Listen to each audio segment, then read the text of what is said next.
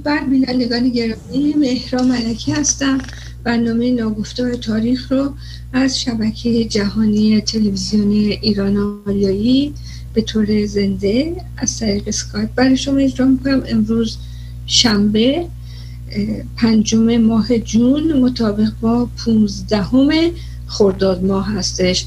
درست مصادف شده برنامه امروز و فردا با اون شورش و بلوایی که خمینی در واقع با پول و دستور جمال عبدالناصر عامل شوروی در ایران برپا کرد در رابطه با اصلاحات شاه انقلاب سپید و شاه مردم. برحال پیش از اون که بپردازیم به ادامه گفتارمون که هفته پیش آغاز کردیم یا دو هفته پیش آغاز کردیم چند مورده که درش باشد در, مورد در چند مورده که می‌خوام باشد در میون بذارم. یکی اینکه آقای پرزیدنت دانالد ترامپ خیلی فعال شدن اخیرا. ولی از اون طرف فیسبوک هم آمده به مدت دو سال صفحه فیسبوک آقای ترامپ رو گفته تا دو سال میبندم. بسته حذف کرده. ببینید چه سانسور عجیبیه. شخصی که حال رئیس جمهور امریکا بوده و یکی از قدرتمندترین رئیس جمهورهای آمریکا و پرطرفدارترین رئیس جمهورهای آمریکا ایشون بوده. حالا ببینید تا میاد صحبت کنه میبنده فیسبوک. گفته برای دو سال میبندم. واقعا که شورشو در برده از نظر سانسور. افتضاحه. یعنی با یک کشور جهان سومی فرق دیگه نمی‌کنه. خود من دیدید که تا میام دو تا کلم حرف بزنم برنامه رو که می‌ذارم تو یوتیوب سانسور می‌کنم. حالا از مهندس سیاوش خان خواهش کردم که برام کلیپ کم حج میشه بفرستن که بذارم تو تلگرام هم که اگر یوتیوب سانسور کرد داشته باشم. در تلگرام که شما نازنینان می‌خوایم بریم ببینید برنامه و سانسور دیگه کارش نمی‌تونیم بکنیم. حریف نمی‌تونیم بشیم. الان واقعا هیچ جایی از دنیا نیستش که حرف حق بزنی سانسورت نکنن ولی امریکا دیگه شورشو در ورده. واقعا شورشو در ورده. این حزب دموکرات امریکا. حالا سوسیالیست هم واسه ما شدن. همشون میلیاردر میلیاردر میلیاردر اون وقت سوسیالیست. تمام حکومت های کمونیستی سوسیالیستی همینطور بود. فکر نکنید در خود شوروی سرکرده ها همه وضع مالیشون عالی بهترین خب توی قصر کرملین زندگی می‌کردن این در واقع رهبران حزب کمونیست شوروی وقتی رئیس جمهور می‌شدن قصر کرملین کاخ تزارا بود دیگه. اونجا زندگی می‌کردن. و از بهترین چیزایی که در زندگی هست یعنی از یک زندگی بسیار بسیار سطح بالایی برخوردار بودن از هر نظر.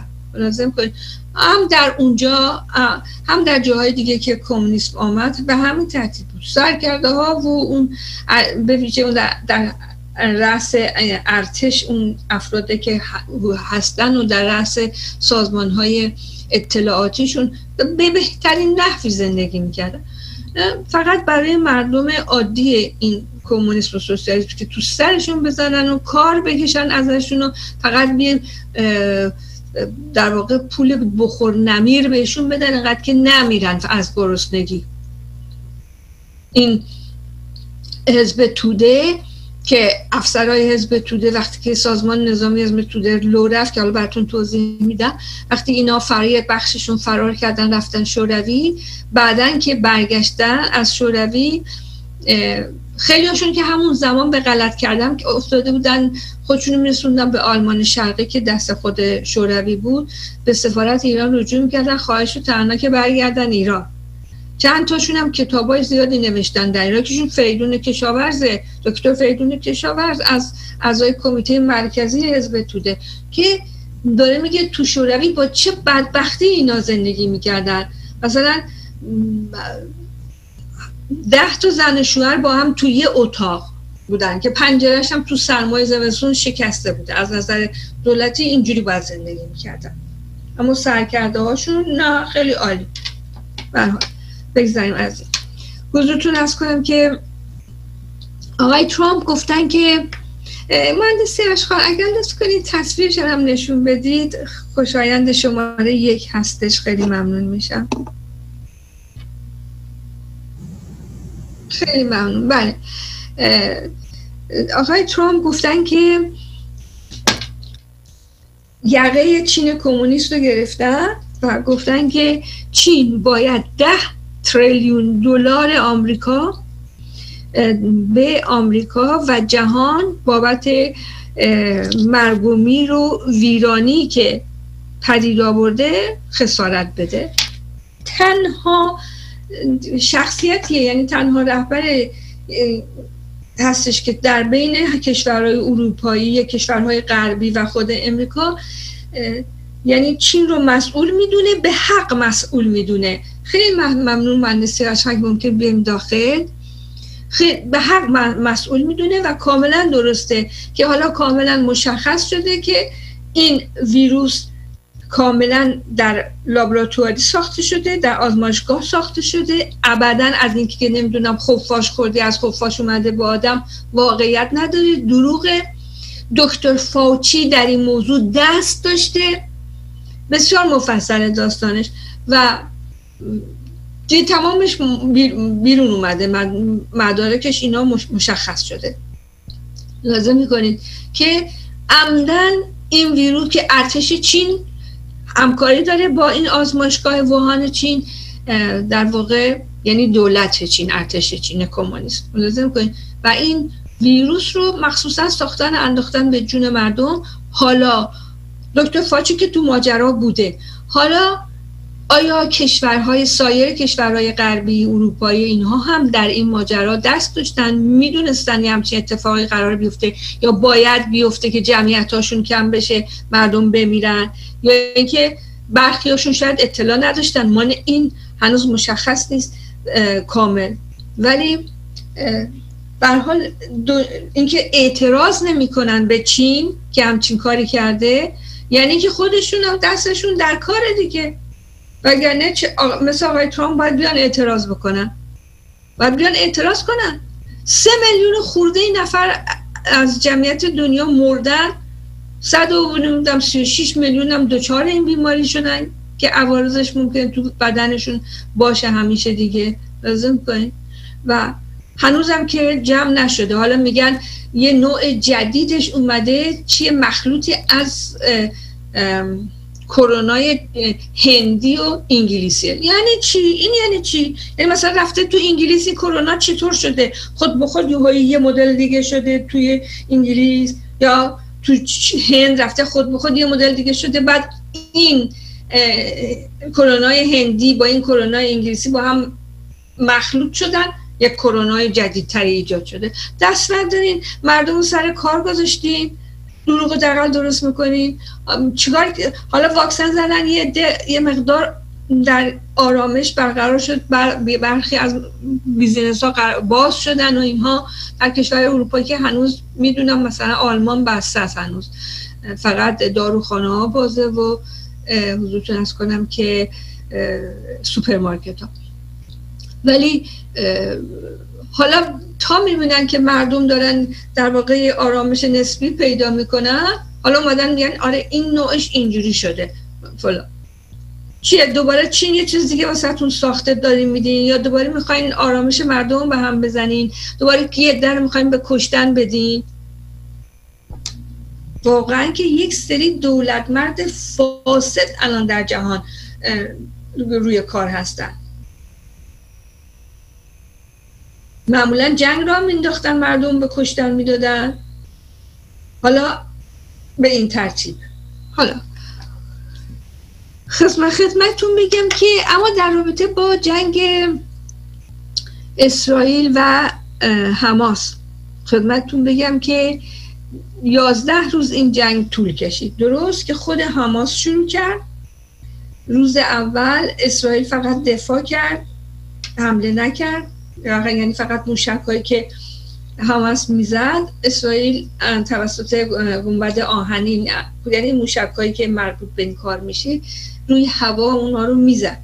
نمیذاش به زمین بخورن. سه تاش خورده بودن به چند جایی که سرنشین نداشت.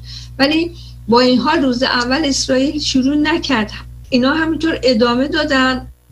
گستاخانه و بسیار پررو خب بعد اسرائیل هم پاسخشون داد. به حال این جنگ یازده روز طول کشید و اسرائیل هر وقت که می‌خواست و حماس و در کل بله خود حماس این سازمان تروریستی حماس تمام این اسلحه و مهماتش رو برده در واقع در مناطق مسکونی پرجمعیت زیر اون مناطق اینا رو جاسازی کرده که می‌دونه اسرائیل جاهایی که مثلا جمعیتی اینا مردم رو نمی‌خواد بزنه به هیچ وجه. ببینید یعنی مردم رو سپر گوشتی کرده سپر بلا کرده. یعنی اصلا جون مردم براشون مهم نیست اینا. لازم می‌کنید که اسرائیل هم به هر جایی که می‌خواد می‌خواست بزنه که سرنشین داشت تو این یازده روزه ابتدا اعلام می‌کرد زبان عربی میامد اعلام می‌کرد که اون منطقه رو خالی بکنن که می‌خواد بزنه. همچین هم نقطه زنی می‌کرد که مثلا اون ساختمون میریخ رو خودش هیچ وقت به این ور و به اون هم خسارت نمی‌زد. لازم کنید. برحال حالا ببینید در این زمانی که جنگ اسرائیل و حماس هستش و خب خیلی از منطقه غزه که خیلی شلوغ هم هستش سرنشین های زیاد هستن کشته شدن. بر اثر چی؟ موشک های خود حماس که درست بلد نبودن اینا رو نشونه گیری بکنن یا بردش کوتاه بوده میافتاده اونجا. حالا اونا هم توضیح میدم براتون. حالا شما فکر کنید در این یازده روز که خب سرکرده های ارتش اسرائیل در مملکتشون بودن. آقای نتانیاهو بود اینا همه بودن هیچ فرا نکردن. اما سرکرده های همس کجا رفته بودن؟ اسماعیل هنیه و افرادش در این یازده روز جنگ در قطر در پایتخت قطر در دوهه در یکی از معروفترین و لاندری ترین هتل اونجا زندگی می‌کردن و خوش میگذروندن. که ببینید حالا قیمت هتلش چقدر شده؟ پول هتلشون دائما هم می‌رفتن ماساژ می‌گرفتن و یه رقم خیلی کلانی پولش که مسلما جمهوری اسلامی پرداخت کرده و پرداخت کنه. درست در طول این 11 روز جنگ اونجا بودن همشون. هم اسماعیل هنیه هم یارانش. شماره یعنی رهبر حماس. گروه تروریستی حماس مهندسی خواهی که لطف کنین کلیپ شماره دو خیلی ممنون میشم. مرسی. التي رسخها.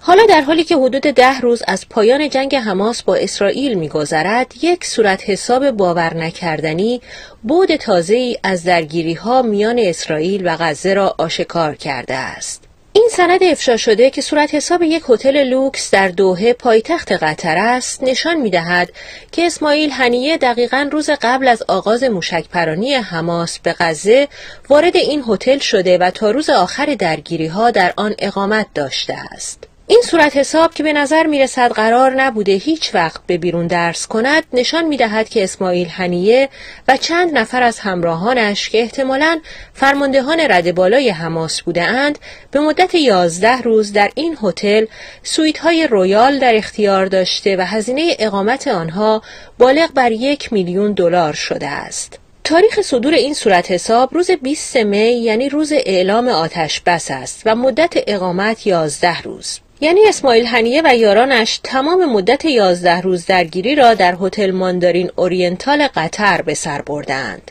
این هتل لوکس در قلب شهر دوحه قطر قرار دارد و مرکز اسپا یا خدمات ماساژ آن بسیار محبوب است. نکته جالب دیگر در این ماجرا استفاده اسماعیل هنیه و یارانش از خدمات ماساژ این هتل است.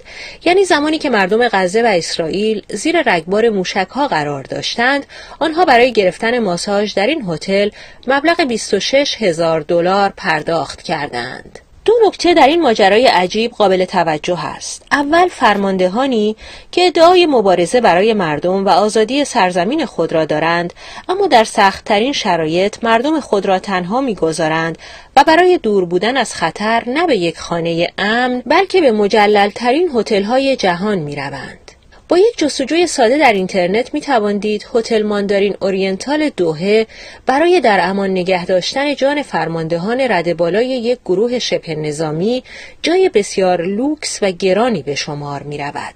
این هتل پنج ستاره زنجیره‌ای که دفتر مرکزی آن در هنگ کنگ قرار دارد از مجموعه هتل‌های لوکس جهان است که هزینه اقامت در اتاقهای آن بسته به مساحت، ظرفیت و میزان لوکس بودن اتاق از 343 دلار آمریکا شروع و تا 16 هزار دلار برای سویت‌های رویال بالا می رود. قیمت هایی که هیچ کدام از افرادی که در غزه در آن 11 روز گرفتار جنگ بودند نمی توانستند تصورش را بکنند.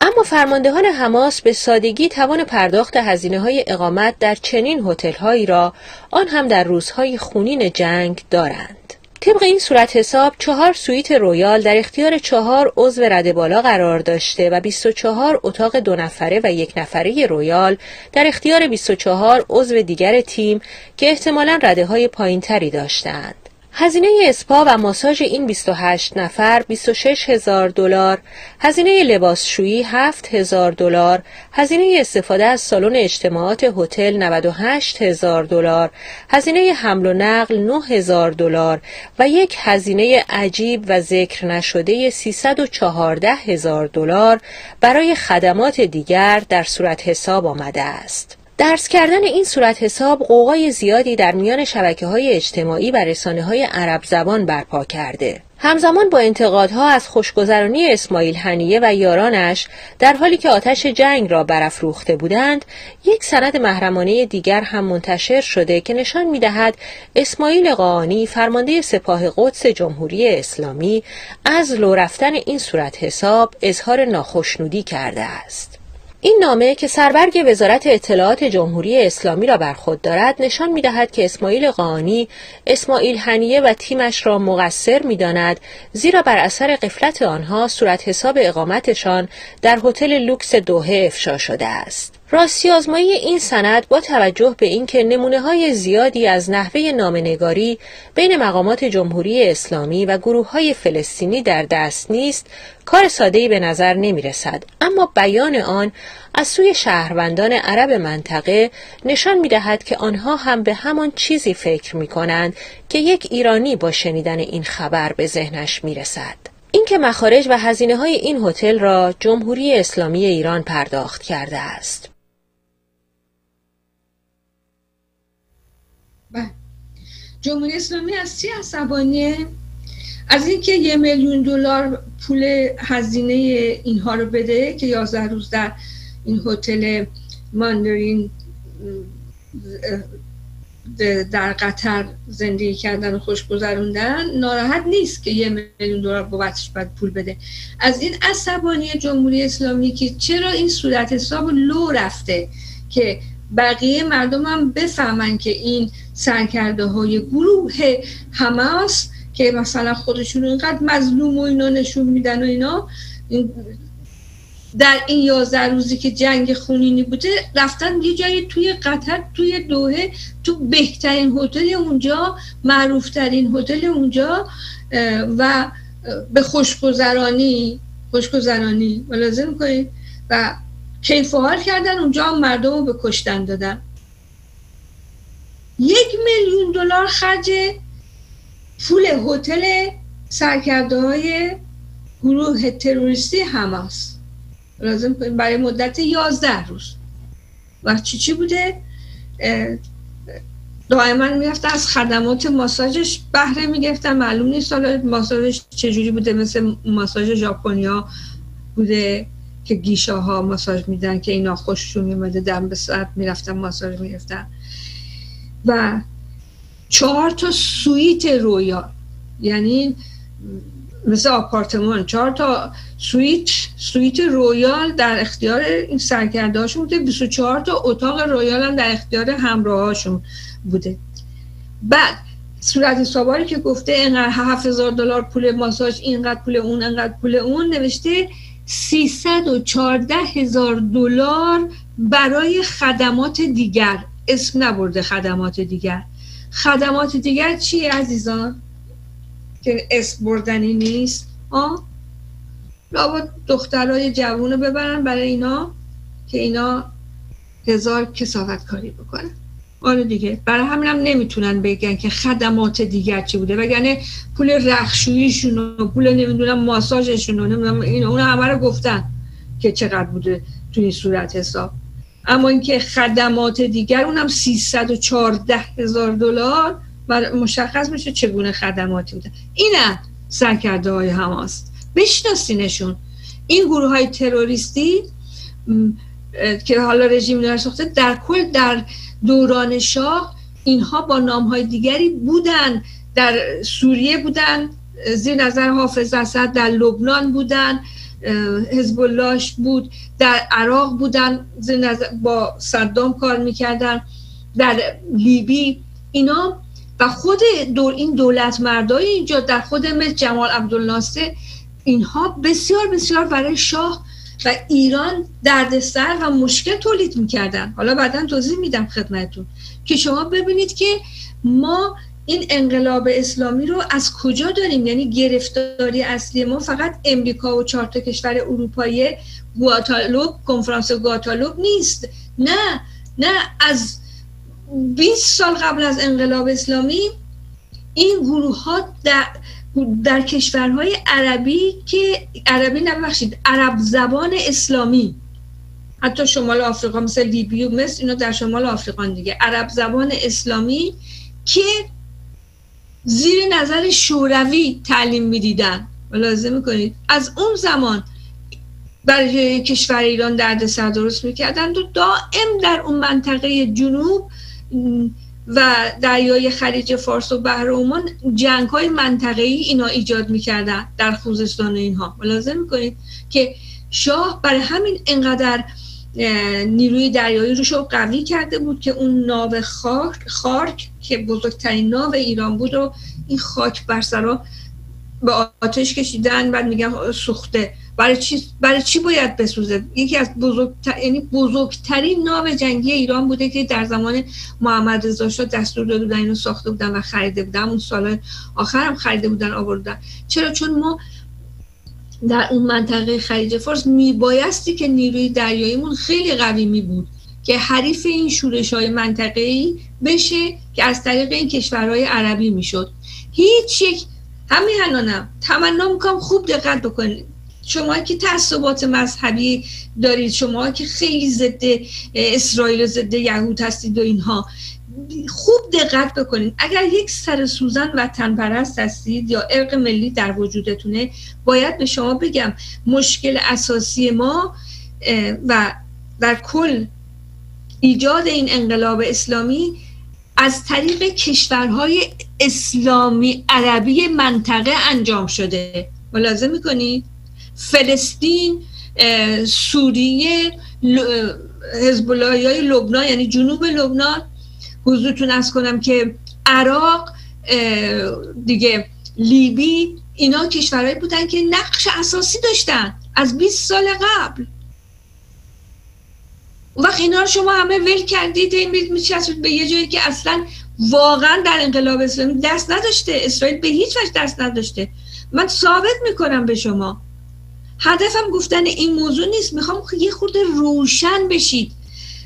ببینید که با کی باید دوستی بکنید. با کی باید دشمنی بکنید. شما هنوز که هنوزه یه عدتون دوست دارید برید کربلا و نجف و نمی‌دونم دیدار امام اول امام نمی‌دونم سوم شیعیان و نمی‌دونم این اون.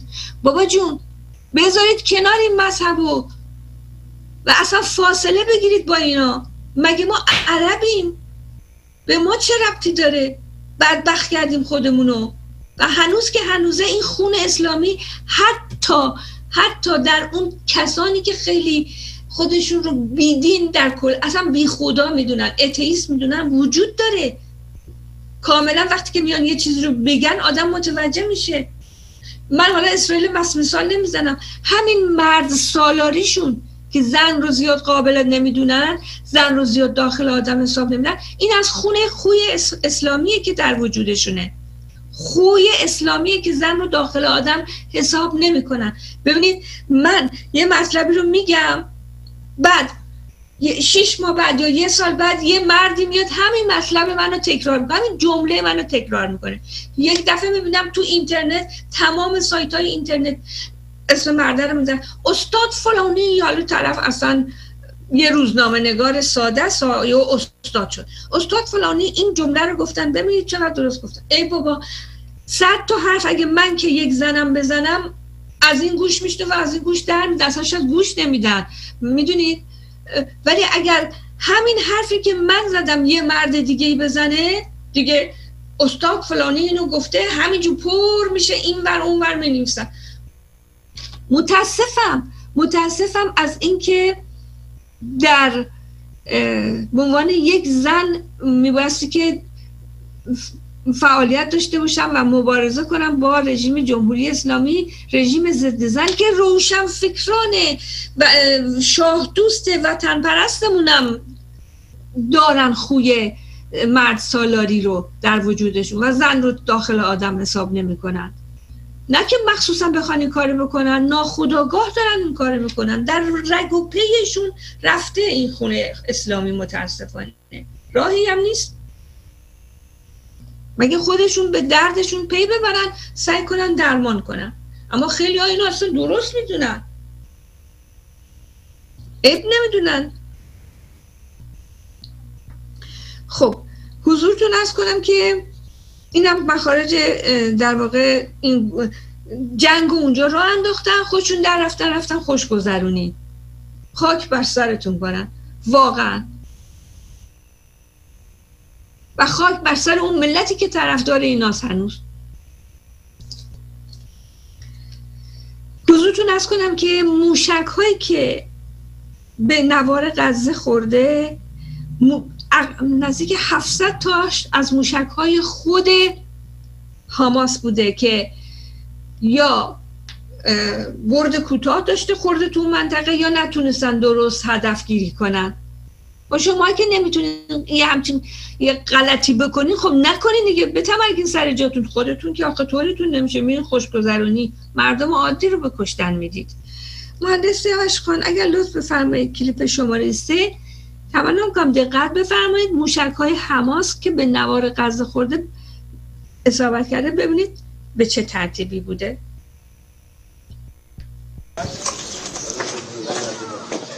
اینجا بیت هنون در غزه است.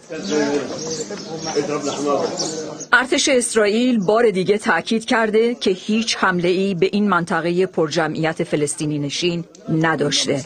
باعث این ویرانی ها موشک های خود شبه نظامیان حماس و جهاد اسلامیه که به دلایل مختلف فنی یا برد کوتاه در این نقطه پرجمعیت سقوط کردند. هشت عضو یک خانواده فلسطینی بر اثر سقوط این موشک های به هدف نخورده کشته شدند. کارشناسان نظامی تایید کردند قطعات عمده این موشک ها ساخت کارخانجات سپاه پاسدارانند. منتاج شده در غزه و مهر ساخت فلسطین خورده. بخشی از نمایش قدرت که کودکان هم در اون سرباز محسوب میشن و علاوه بر لباس نظامی در آغوش خانواده ها هم باید فرهنگ ستیز جویی رو ترویج بدن. روزی که بیت هنون با موشکهای منحرف شده حماس تخریب شد سعید محمود نصیر متعجب بود چرا این بار هشداری داده نشد یا آژیرها به صدا در نیومد؟ من من الساعه 11 لساعه 11 ونص موجودوا فينا وقتی دیدیم موشک منحرف میشن شک شدیم. از ساعت 11 شب تا یک بامداد بمباران در منطقه شدید بود. اما اونا در مورد بمباران هشدار نمی‌دادن. هیچ اطلاعی هم نمی‌دادن که خونه هامون رو خالی کنیم. وبيجبدوا فينا حتى حتى اخر لحظات الساعات هذه هم قاعدين بيضربوا فينا خانواده ها گیج بودند که با راکت های خودی مورد حمله قرار گرفتن. یا حمله هوایی اسرائیل حیات العطار تصمیم گرفت از این پناهگاه هم بره. ما نشسته بودیم که بمباران شدید شروع شد. خونه میلرزید و بچه ها فریاد می‌زدن. آتیش همه جا رو گرفت. خدا رو شکر ما نجات پیدا کردیم. بنابراین داریم میریم. والله صار شد الضرب عنا و ما میترسیم. بچه ها و بزرگا همه وحشت داریم. تصمیم گرفتیم از اینجا بریم. پناه می‌بریم به خونه اقواممون. بنا به اطلاعات منابع نظامی اسرائیل در مجموع از 4360 موشکی که شبه نظامیان حماس و جهاد اسلامی از غزه به اسرائیل شلیک کردن حدود 700 فروند در خاک غزه فرود اومده. صدها موشک در علفزارها و دریا. آمار دقیقی از کشته های این موشک های منحرف شده در خاک غزه نیست. در نهایت آتش این جنگ 11 روزه که اولین بار حماس با شلیک چندین فروند موشک به خاک اسرائیل شعله ور کرد با وساطت کشورها به ویژه مصر فروکش کرد. حالا با رأی 24 عضو از جمله چین و روسیه شورای حقوق بشر سازمان ملل تحقیقات بین المللی در مورد جنایات انجام شده در این درگیری رو شروع کرده. تحقیقاتی که انتظار میره حقایق بیشتری از نحوه کشته شدن در مجموع. 283 نفر از دو طرف که 70 تن اونها کودکان خردسال بودند منتشر بشه.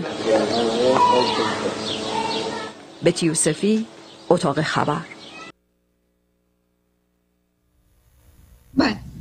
این که سخن من نبود که وقت بگین مثلا مهرا علکی حساسیت داریم نه من همیشه به دنبال واقعیت ها بودم. هیچ وقت تعصب در رابطه با مسائل تاریخی از خودم نشون ندادم. برای اینکه می‌خواستم همیشه واقعیت رو بدونم. اگر من طرفدار نظام پادشاهی پهلوی شدم فقط به فقط به دلیل مطالعاتم این احساس درم به وجود اومد که دیدم تا قبل از اون چه ایرانی داشتیم و چقدر این دو پادشاه به ایران ایرانی خدمت کردن. فقط به همین دلیل. هیچ دلیل دیگری هم نیست. ملاحظه کنید و آدم واقعا باید حقیقت بین باشه نه تعصب به خرج بده. ببینید الان داشت می‌گفت دیگه موشکایی که خورده به نوار غزه چقدر شلوغ اون منطقه پر جمعیته اغلبش مال خود چیز بوده حماس بوده. خورده بلد. شما که نمی‌تونین جنگ بکنین نمی‌تونین این غلط رو بکنین خب نکنین. جون مردم جون مردم خودشون براشون اهمیت نداره. هر چند وقت یه دفعه یه همچین شر و شوری به پا رو میندازن و آخر دفعه هم شکست می‌خونن و کلی هم از مردم عادی کشته میشن. خودشون هم که خوشگذرونی.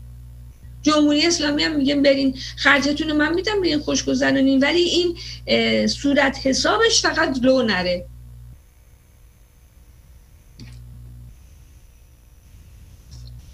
توی ایران دختر بچه های مدرسه رو کشوری که اصلا این دین به زور شمشیر درش وارد شده ملاحظه می‌کنید؟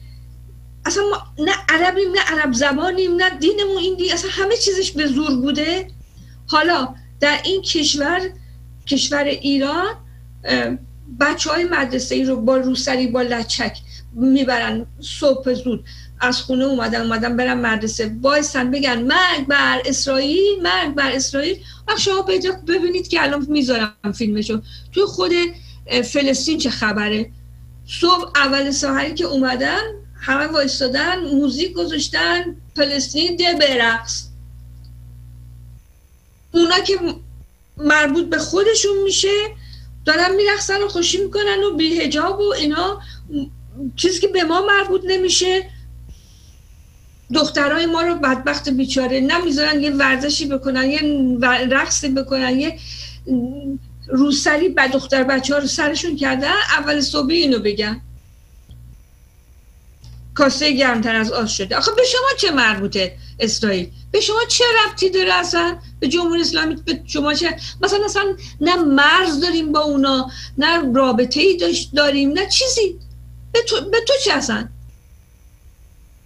از این را تونستی مردم رو تحمیق کنی اصلا خمینی از همین راه مردم رو تحمیق کرد و بر ضد شاه تحریک کرد. که بله شاه اسرائیلی است.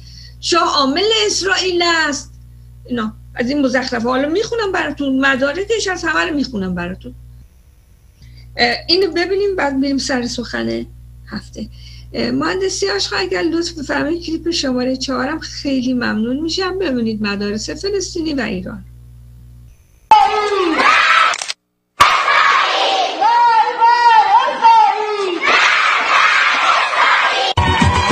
على عهدي على ديني على أرض تلاقيني.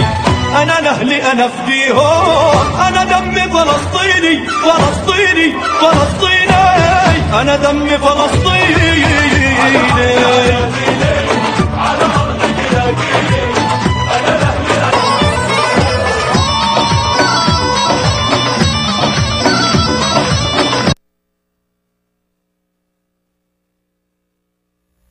ملاحظه کردی؟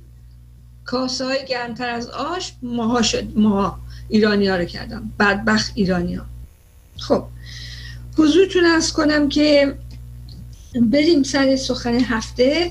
تمنا کنم دقت بفرمایید. مطالب بسیار بسیار مهم تاریخیه که من سعی می‌کنم با ساده ترین زبان و روش خدمتتون توضیح بدم. برای اینکه باید که بدونید مربوط میشه به انقلاب اسلامی 57 مربوط میشه به این بدبختی که ما 42 سال سه سال گرفتارش شدیم. بنابراین خواهش می‌کنم دقت بفرمایید تا توضیح بدم خدمتون خب گفتیم خدمتون که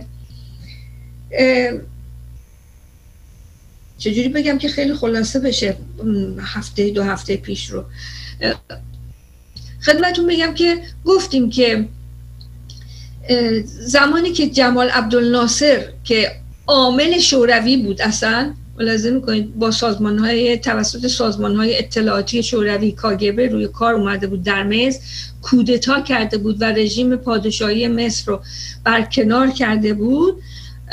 حضورتون از کنم که رئیس جمهور مصر بود و در این و سعی می‌کرد که تمام کشورهای عرب زبان اسلامی منطقه رو با خودش یکی بکنه. پشت سر اینها کی بود؟ شوروی. روسیه شوروی روسیه کمونیستی. لازم کنید که روسیه شوروی آمد در تمام تقریبا این کشورهای عرب زبان اسلامی منطقه خاور میانه و شمال آفریقا حزب بعث رو درست کرد. که حزب بعث یه چیزی مثل حزب توده است که در ایران تو تاسیس کرده بود. شوروی که چیکار می‌کرد؟ این حزب توده برای برآوردن خواسته ها و منافع شوروی در ایران کار می‌کرد حزب توده. لازم می‌کنه حزب بحث هم در این کشورهایی که تشکیل شده بود در مصر که جمال عبدالناصر اصلا رهبرش شده بود رهبر حزب بحث بود که در ارتش بود و کودتا کرد به اتفاق محمد نجیب. و حضورتون از کنم در مصر حزب بس بود در سوریه حزب بس بود در عراق حزب بس بود در لیبی حزب بس بود. ملازم کنید حتی در خود لبنان هم حزب بس رو تاسیس کرده بودن. اما خب لبنان جمعیت مسیحیش هم زیاده که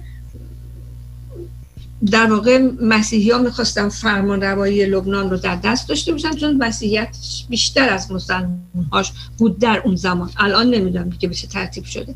برحال و حضورتون از کنم که گفتیم که جمال عبدالناصر به بهانه این که یه خبرنگاری از شاه پرسید که سال 1339 خورشیدی از شاه پرسید که سال 1960 میلادی از شاه پرسید که روابط شما با اسرائیل چطوره؟ شاه گفت ما اسرائیل رو به صورت بلفل یعنی چیزی که خب وجود داره. می‌شناسیم به رسمیت می‌شناسیم ناصر گفتیم این بهانه دستش اومد و شروع کرد به در اسکندریه یک نطق بسیار چه می‌دونم آتشینی بر ضد شاه و که بله آره شاه با اسرائیلیا هست. از دین اسلام بیرون اومده. خیلی جالبه.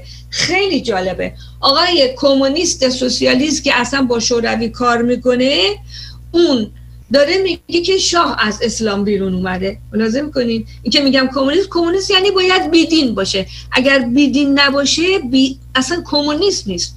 مال ما قاطی کمونیست اصلا قاطی. اصلا خودشون نمی‌دونن اصلا نخوندن مانیفست فارک مارکس رو بخونن هم سر در نمیارن. لازم میگن یعنی علکی چیزی میگن. برحال اما ناصر خودش می‌دونست چی داره میگه. خودش هم می‌دونست چی کار است. لازم می‌کنید خب حضورتون از کنم که جمال عبد ناصر گفتیم که تلاش می‌کرد که کشورهای عربی رو همه رو با هم یکی بکنه و رهبریتش رو به عهده بگیره. سوریه رو حریف شده بود. که رهبریتش رو به عهده بگیره. یعنی این زمان مصر و سوریه با هم کار می‌کردن. عراق هم به نوعی درسته که کودتا کردن و پادشاه عراق رو بر کنار که ارز کنم تکه پاره کردم پسر بچه بیچاره رو. و حال حضورتون ارز کنم که ولی پیرو دستورات ناصر بودن. این حزب بحثی که کودتا کرده بود. اینا همه هم در ارتش بودن ها. در لیبی هم قذافی کودتا می‌کنه پادشاه لیبی رو برکنار می‌کنه. در ایران قبلا شوروی تلاش کرد که از طریق حزب توده و سازمان نظامی حزب توده که در ارتش ما رخنه کرده بودن و یه چیزی بعدا که لو رفت در سال 1333 یعنی بعد از جریانات 28 مرداد 1332 بعد از قیام ملی مردم که مصدق رفت و مصدق خیلی دست حزب توده رو باز گذاشته بود. چون فک و فامیلیاش همه دو حزب توده بودن. دختر داییش مریم فیروز زن کیانوری بود. کیانوری کی بود؟ کیانوری در واقع رئیس حزب توده بود دیگه. لازم می‌کنید؟ زنش هم مریم فیروز رئیس سازمان زنان حزب توده بود که دختر دایی دکتر مصدق می‌شد. در عین حال آره دیگه خیلی های نزدیک داشتن اینها با هم. خب کیانوری هم میشه شاید دختر داشت. حزب توده حالا نمی‌خوایم به مصدق بپردازیم. به حال بعد از رفتن مصدق و اینا اگه چند ماه بعد از رفتن برکنار شدن مصدق و دار دست اینها سازمان نظامی حزب توده در ارتش ایران که خیلی هم وسیع بود 631 عضو داشت. یعنی 631 تن از ارتشیان ما در ارتش شاهنشاهی ایران عضو حزب توده بودن مخفیانه. حالا از مثلا صدفان گرفته برو تو درجه های بالا. ملاحظه می‌کنی؟ که این لو رفت خوشبختانه در سال 1333 خورشیدی. ملاحظه می‌کنید و لو رفت یه تعدادشون فرار کردن رفتن روسیه روسیه شوروی. یه تعدادی رو 400 400 خوردهشون رو دولت تونست بازداشت کنه. یه تعداد زندانی شدن یه زندانی های کوتاه مدت و بعد از یه مدت آزاد شدن. یه تعدادی به حبس ابد محکوم شدن که بعد به اونام تخفیف خورد آزاد شدن. یه تعدادی به مح... اعدام محکوم شدن که متاسفانه باز تخفیف خورد و اعدام که نشدن چی باز دوباره تخفیف خورد و باز آزاد شدن. به حال شوروی نتونست در ایران از طریق سازمان نظامی حزب توده که تشکیل داده بود بر علیه شاه کودتا را بندازه. همون کاری که مثلا در مصر کرد که جمال عبدالناصر و محمد نجیب هر دو دو افسر ارتش شاهنشاهی مصر بودن که عضو حزب بحث بودن یعنی کمونیست بودن.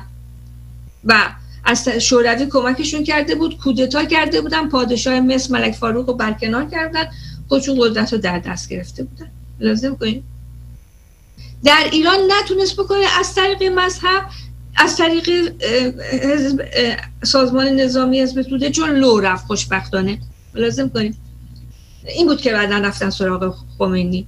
اگر نه در خدمتتون توضیح دادم. در لیبی هم امین معمر قذافی این در حزب یک ارتشی بود سرهنگی بود در ارتش پادشاهنشاهی لیبی که اونم عضو حزب بس بود و اینا همه نوچه های جمال عبدالناصر بودن در واقع. لازم که اونجا به اتفاق چند تن دیگه از افسران حزب بس که همون حزب توده می‌شد در لیبی کودتا کردن و پادشاه لیبی رو برکنار کردن. الان تصاویرش رو نشون میدم. جالبه که بدونید. برای اینکه می‌دونم اینها رو کسی نگفته. می‌دونم تا وال واقعا کسی نگفته براتون. ولی حالا که ما گفتیم مثلا هفته دیگه یه نفر دیگه هست یه پسر یه آقای هستش می‌بینی هرچی هم که ما میگیم همونا رو تکرار می‌کنه یه خورده روغن و آبش هم زیاد می‌کنه. بعد هم میگه اول من گفتم اول من اما اول من گفتم. یکی اینجوریه؟ بقیهشون هم که میان از قول خودشون بادی در قب قب میندازن هم میگن دیگه. برحال کاری ندارم. اجازه بدید که از مهندسی اشخان خواهش کنم. مهندسی اشخان اگر لطف بفرمایید شماره هشت رو. هفت نه شماره نه هفت. لطف بفرمایید. ببخشید. شماره هفت. شماره هفت رو لطف بفرمایید. کلیپ رو باز بکنید که من نشون بدم. خیلی ممنون. این تصویری که می‌بینید این آقا محمد ادریس سنوسی هستش که پادشاه لیبی بوده. محمد ادریس سنوسی پادشاه لیبی بوده این آقا. ملاحظه می‌کنید پادشاه خوبی هم بوده. از سال 1951 تا سال 1969 میلادی پادشاه بوده. 18 سال پادشاه بوده. بعد حضورتون از کنم که توسط کی برکنار میشه؟ معمر قذافی که اسمش خیلی درازتر از اینه. تصویر شماره بعدی رو اگر لطف بفرمایید خیلی ممنون میشم مهندس سیاوش خان.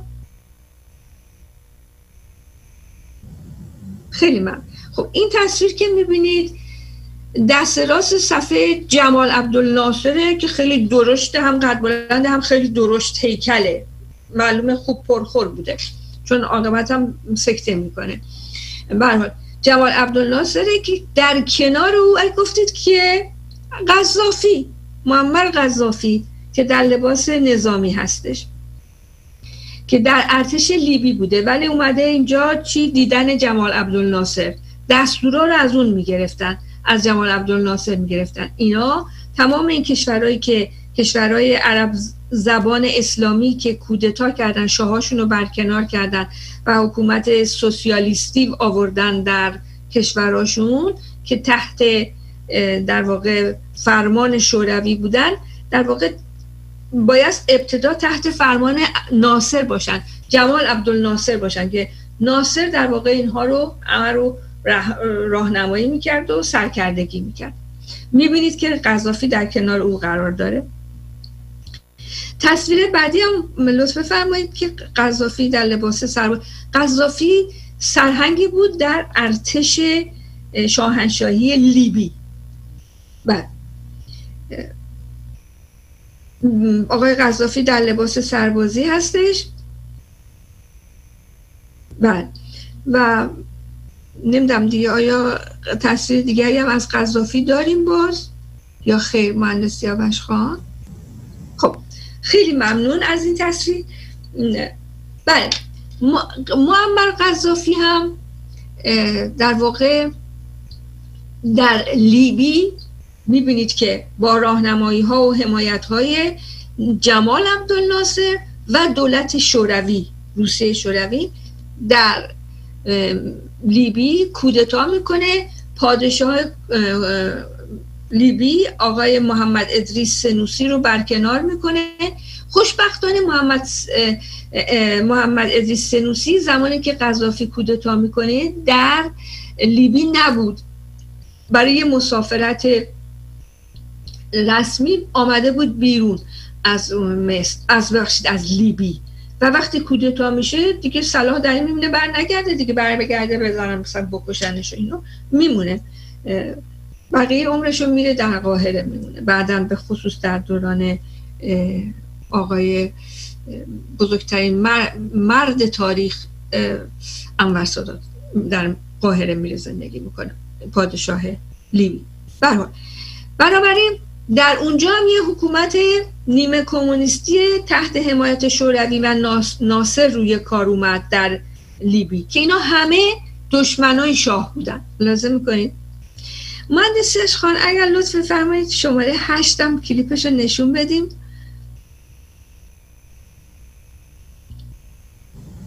بله اینو قبلا هم گفتم. ببینید این دو تنی که می‌بینید نشسته نشستن اون که لاغرتره گفتم چشماش وزق زده مثل قورباغه خیلی وحشیه صورتش.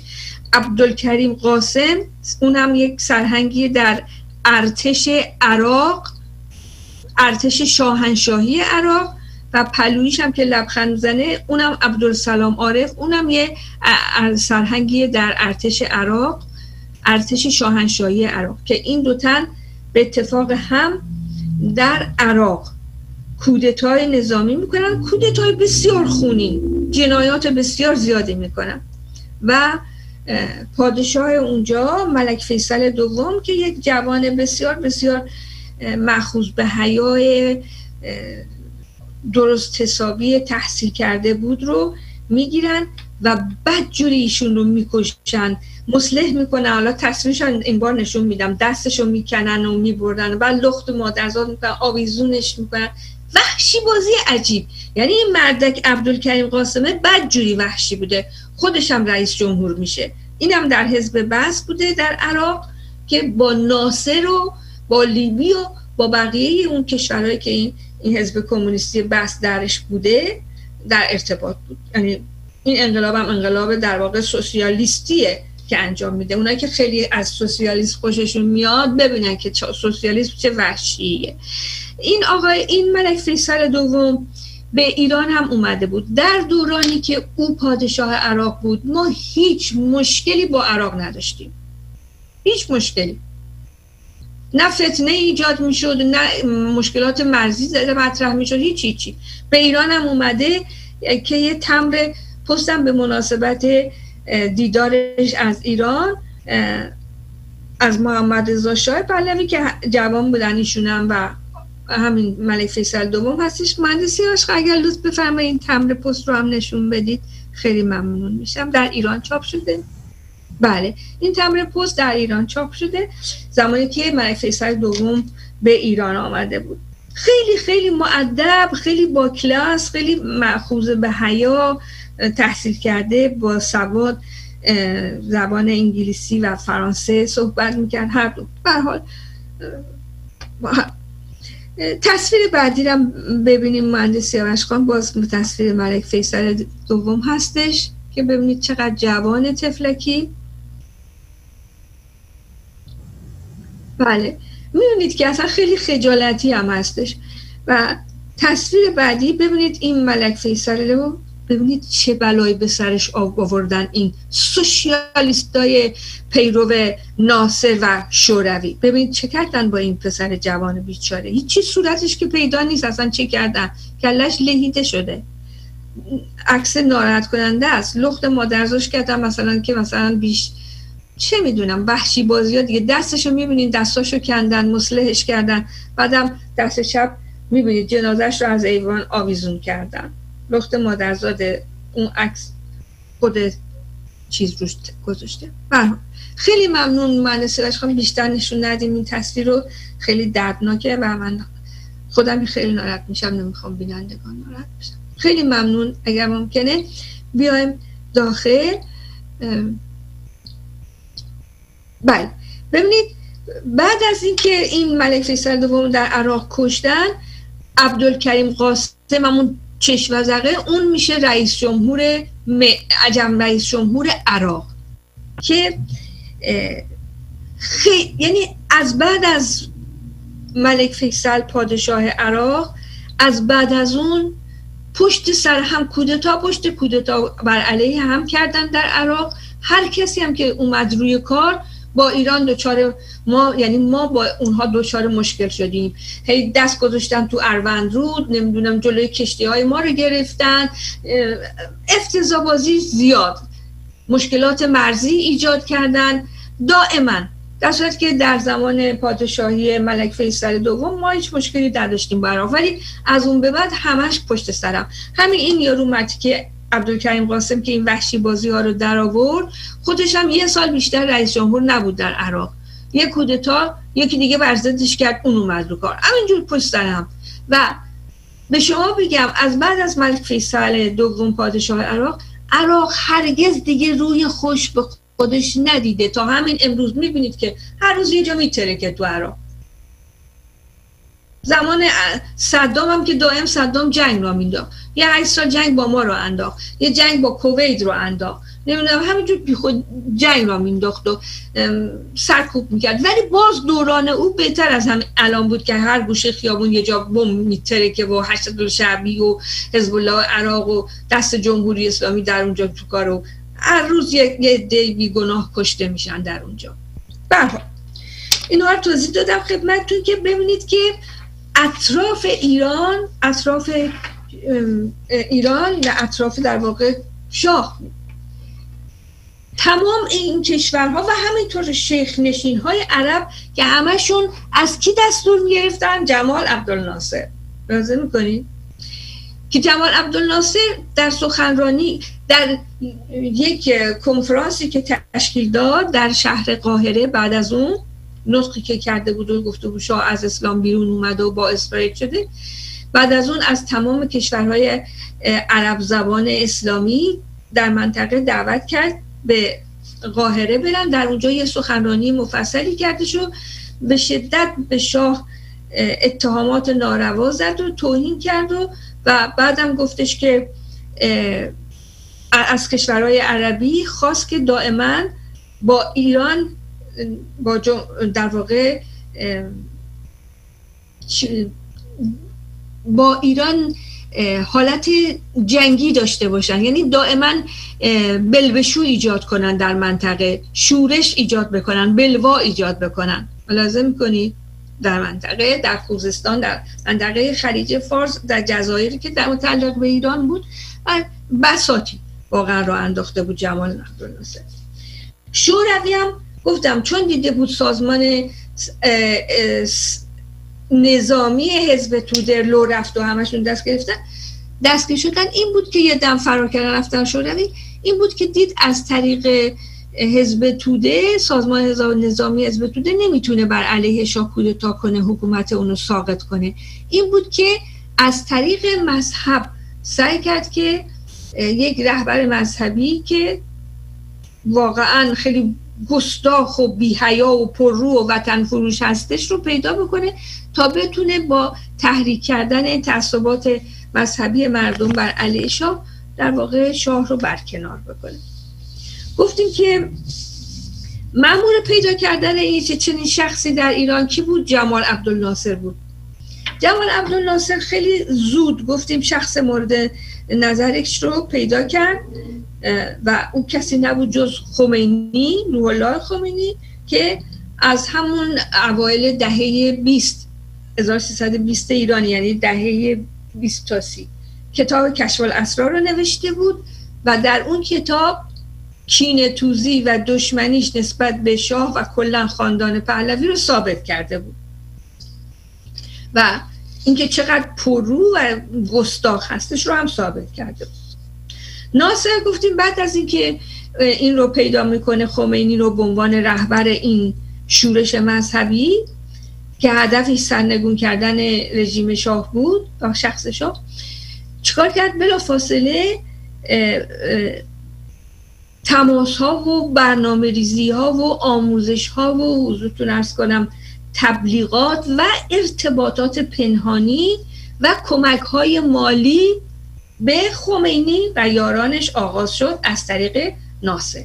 لازم آغاز شد. و یک طرح جامع و ماهرانه برای ایجاد یک بلوا و شورش عظیمی که هدفش ساقط کردن رژیم شاه بود ریخته شد. لازم می‌کنید و مراحل اجراییش هم شروع شد. به چه ترتیب؟ به این ترتیب که توانم کنم دقت بفرمایید. خواهش می‌کنم. دقت بفرمایید. به چه ترتیب؟ به این ترتیب که مال چه سالیه؟ مال سالهای 1340 41 42 ملازم کنید حضورتون از کنم که این طرح به چه ترتیبی بود؟ به این ترتیب بود که شاگردان و یاران خمینی و طرفداران جدی خمینی زیر نظر مستقیم شخص خمینی. سال 1340 42 خوب دقت کنید. زیر نظر مستقیم شخص خمینی و با راهنمایی های مزورانه خمینی و مدبرانش که یاد می‌داده واقعا چه بکنه. البته خودش هم آموزش می‌دیده. صد درصد از طریق حزب بحث ناصر یا عراق اینا به هر حال. حضورتون از کنم که اینها این طرفداران خمینی که گفتم زیر نظر زیر نظر مستقیم خمینی کار می‌کردن اینها در واقع در پوشش انجام فرایز دینی فرایز مذهبی در مساجد جمع می شدن در هیئت های مذهبی جمع می شدن و در کانون های اسلامی که بازرگان تاسیس کرده بود. ز کانون مهندسین اسلامی کانون دانشمند دانش انجمن دانشجویان اسلامی حتی دانش آموزان اسلامی کلاس های قرآن طالقانی و انجمن ها و کانون های اسلامی که علی شریعتی و پدر علی شریعتی تأسیس کرده بودن. اینها جمع می و حضورتون از کنم با هم اعتلاف کرده بودن و اتحاد و اطلاعات اتحاد و اعتلاف مخفیانه با هم می‌کردن و از هر نظر آماده مبارزه جدی با رژیم شاه شدن این گروه هدف اصلیشون چی بود؟ این بود که هر گروهی وظیفش این بود که خوب دقت کنید هر گروهی وظیفش این بود که می‌رفت جوانان مذهبی رو حالا چه در سطح کسبه و کارگر چه در سطح دانشجو و دانش آموز رو هرچی جوانان مذهبی. و همینطور طلاب رو طلاب حوزه های علمی قوم جاهای دیگه. در مساجد در حوزه های مذهبی. و کلاس های قرآن طالقانی. اینها رو پیدا می‌کردن. در بیشتر کجاهای کار می‌کردن؟ در خود تهران در ورامین کرج قزوین شیراز و مشهد. ملازم کنید اینا رو پیدا می‌کردن و بعد این جوانان رو شروع می‌کردن بهشون چیکار می‌کردن؟ تعلیمات مذهبی دادن مقصویی مقصوی های شدید مذهبی و تحریک بر علیه رژیم شاه و شخص شاه. ملاحظه می‌کنید ببینید چجوری پیش می‌رفتن؟ گام به گام. این نبوده که یه روزه همه ریختن تو خیابون یهو گفتن مرگ برشا نه. سال 1340 20 سال ببخشید آره که سال 57 17 سال پیش از انقلابه.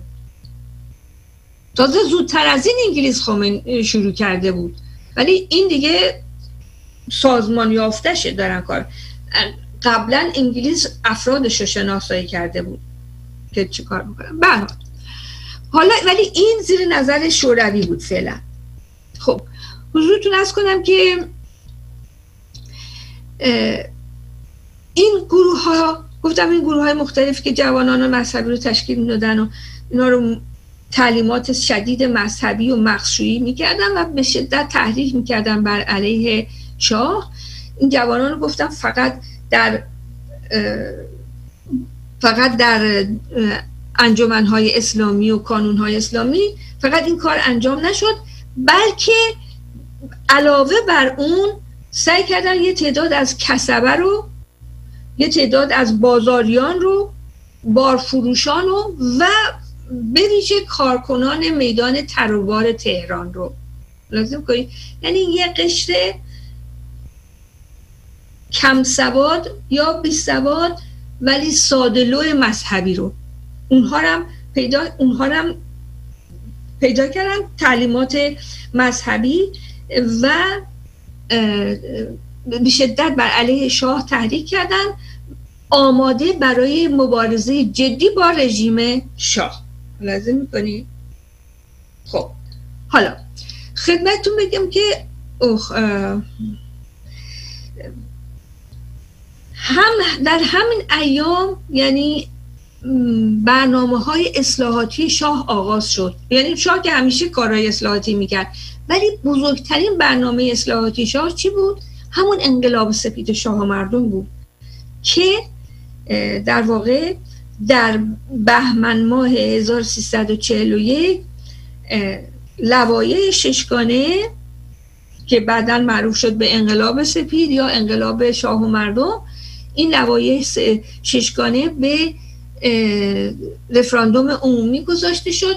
رأی آورد بسیار زیاد و این اصلاحات شاه چی بود؟ شامل اصلاحات ارزی بود این لوابط. این لوایح ششگانه که خیلی مهم بود برای اینکه جامعه ما یک جامعه فودالی خانخانی بود و حالا در افتادن با این خانها کار به قول معروف حضرت فیل بود. و دیگه چی؟ تصاوی حقوق زن و مرد که در یک جامعه مذهب زده که هنوز 43 سال روشن فکر خارج از کشورش زن رو داخل آدم حساب نمی‌کنه. ببینید چه مشکلی بوده که شاه وقتی که تصاوی حقوق زن و مرد رو اعلام کرد و اینکه زنان حق رأی دادن و حق انتخاب شدن و انتخاب کردن در مجلس شورای ملی داشته داشته باشن. این برنامه های اصلاحاتی شاه یک فرصت بسیار بسیار مناسبی رو برای خمینی در اختیار خمینی گذاشت مناسبی رو در اختیار خمینی و یارانش گذاشت که بتونه رو در رو در مقابل شاه به سختی در واقع مبارزه بکنه که اجازه بدید ادامه این گفتار رو ما هفته آینده پی بگیریم چون به پایان برنامه رسیدیم. با سپاس فراوان. تمنا می‌کنم برنامه ها رو دنبال کنید. جالبه. با سپاس فراوان از کارگردان گرامی برنامه مهندس سیاوش خان عزیز. برای شما نازنینان شب و روز خوش رو آرزو می‌کنم. روز و روزگار خوش.